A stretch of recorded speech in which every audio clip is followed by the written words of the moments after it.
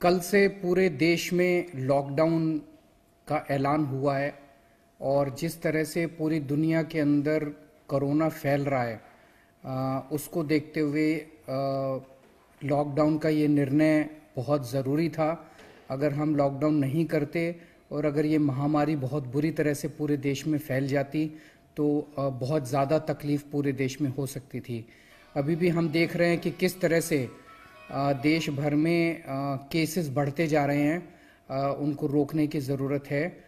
पिछले 24 घंटे में दिल्ली में पाँच नए केस आए हैं, जिसमें से एक केस फॉरेन से आए हुए व्यक्ति का है और बाकी चार केसेस जो हैं वो दिल, उन्हीं के आसपास के परिवार के लोगों के संक्रमित हैं।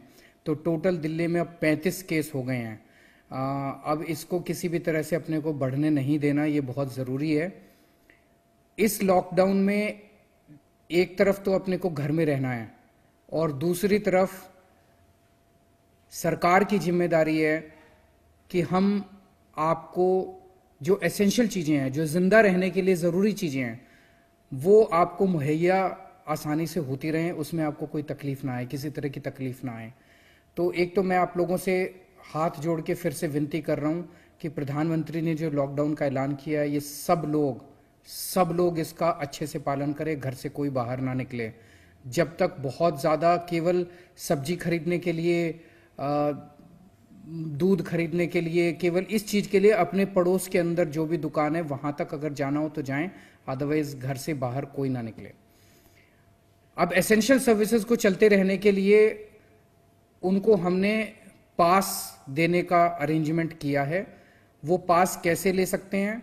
सुबह मैंने इसके बारे में सारा तरकीब से बताया था। मैं एक बार फिर से बता देता हूँ। जो जो सरकारी सेवाएँ हैं, बिजली है, पानी है, इस तरह की जो जो सरकारी सेवाएँ हैं, सरकारी अस्पताल हैं, वहाँ पे एम्प्लॉयज़ के पास अपने अपने आइडेंटिटी कार्ड होंगे। सरकारी दफ्तरों में ऐसे लोग जो कई ठेके पे काम करने वाले मजदूर हैं, कई कॉन्ट्रैक्ट एम्प्लॉयज़ हैं, जिनके पास सरकारी आईडी नहीं है, उनके बारे में मैं बताता हूँ अभी तो जिनके पास सरकारी आईडी हैं, वो अपना आईडी दिखाएँगे। रास्ते में कहीं भी अगर पुलिस मांगती है, उनको अलाउ कर दिया जाएगा। जो प्राइवेट हॉस्पिटल्स हैं, उनके पास अपने प्राइवेट हॉस्पिटल्स के आईडी होंगे, वो भी चलेंगे। जो मीडिया वाले हैं, उनके पास अपने मीडिया के आईडी होंगे, वो भी चलेंगे। जिन लोगों के पास अपने आईडी नहीं है, चाहे वो सरकारी विभाग में काम करते हो, चाहे वो प्राइवेट हॉस्पिटल में काम करते हो, चाहे वो दूसरे प्राइवेट जैसे दूध देने का काम करता है, सब्ज़ी बेचने का काम करता है, मंडी में सब्ज़ी लाने का काम करता है, किसान है जो मंडी के अंदर सब्ज़ी ले जाने का काम करता है, दवाइयों की दुकान वाला है, दवाइयों की मैन्युफैक्चरिंग यूनिट है मोटे मोटे तौर पे अगर हम देखें तो पाँच किस्म की मोटे मोटे तौर पे एसेंशियल सर्विसेज़ निकल के आती हैं। दूध, सब्ज़ी, राशन की दुकान, राशन की दुकान इन द सेंस जो किराने की दुकान अपने इलाके में होती है, किराने की दुकान, रोज़मर्रा की जरूरतों की, जैसे साबुन हो गया टूथपेस्ट हो गया, ये और दवाइयों का सामान। इन पाँच चीज़ों से संबंधित दुकानें या ट्रांसपोर्ट करने का सारी व्यवस्था, या मैन्युफैक्चर करने की व्यवस्था, या उनको स्टोर करने की व्यवस्था, ये सारी चीज़ें एसेंशियल सर्विसेज़ में आएँगी। और ये सारी एसेंशियल सर्विसेज़ हम लोग चाहते हैं कि ये अच्छे से चलती रहें।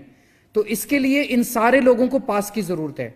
जो लोग भी इन सारी एसेंशियल सर्विसेज़ के मैन्युफैक्चर में लगे हुए हैं, ट्रांसपोर्टेशन में लगे हुए हैं स्टोरेज में लगे हुए हैं वेयर हाउसेज में लगे हुए हैं और दुकानों में लगे हुए हैं उन सब लोगों के लिए हम पासेस देंगे। तो जिन लोग, जो जिन जिन के पास आईडी है, वो आईडी इस्तेमाल करें जिनके पास आईडी नहीं है, उनको हम ई पास देने की व्यवस्था शुरू कर रहे हैं।